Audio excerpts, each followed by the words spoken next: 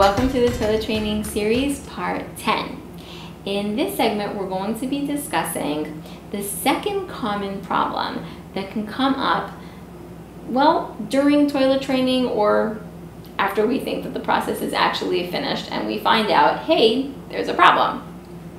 So what can we do about this issue and, well, what is this issue?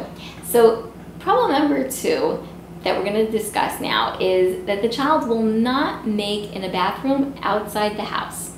And this does happen very commonly. Kids do get nervous sometimes, depending on the personality of the child and some other factors. It can happen that a kid does not want to make outside the house. So this can make life kind of complicated for you as the parent. And of course, it's not pleasant for the child either. What can we do about this?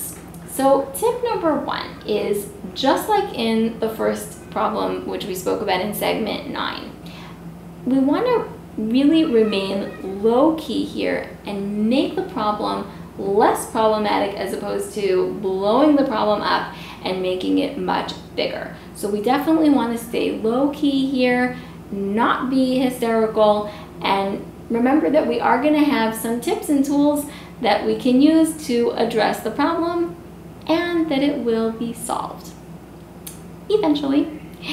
Now, tip number two is you might want to ask the child here, do you have any ideas that will help you? Okay, so you can say to the child, what would help you make in a different toilet? And sometimes kids, when you ask that question, will have something really good, a really good idea to contribute, a really something that you can do to help them, and it will be practical and you can use it, and especially if it's their idea, it will probably be very helpful. Now, not all kids will come up with an idea here, and that's okay, but we can try it if it doesn't work. Um, tip number three is if the child's in a playgroup or a school setting, you may want to ask the teacher who deals with this age group and has probably heard of this problem more than once what you can do and get some tips from him or her. Tip number four. You might want to just bring along a toilet seat insert that kids use in this age bracket um, when they're being toilet trained. And you might want to just take it along with you if you're going out, or let's say if they're in a school setting, you might want to ask the teacher if it's okay to leave it there for them to use there. But the idea here is that there's two benefits to this. Number one is it's something familiar to them, it's a toilet seat insert that they know. And number two, and also that it's theirs. And number two is that it takes away some of the fear that kids have of falling into the toilet, which especially if it's not a toilet made for young children, it's just a regular toilet, then that can be a fear because it's kind of big for them. So that's tip number four. Tip number five is be prepared with a small treat. So especially if you're going out or even in the school setting, you can talk to a teacher about if this would work. But you can tell the child that they will get a small treat if they're able to use this particular bathroom. Now, you don't want to make it such a huge treat that it becomes a humongous deal, but at the same time, something that they would like, something that would be a little bit motivating for them. And in this way, we also take some of the pressure off of trying to convince them and begging them or going out of our minds because we don't know what to do.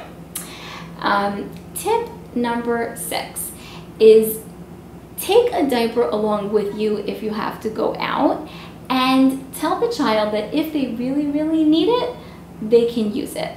Now it's important that if you're going to do this, that you tell this them you tell this to them calmly and that you don't shame the child. So we don't want to tell a child something like, you know, gee, if you're going to be a baby about it, then I guess you could have a diaper.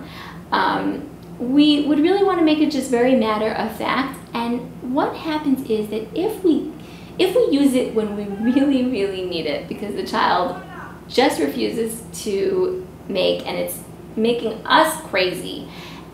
It's we're using this as an aid. It's a temporary aid till they get to the point where it just won't be an issue anymore.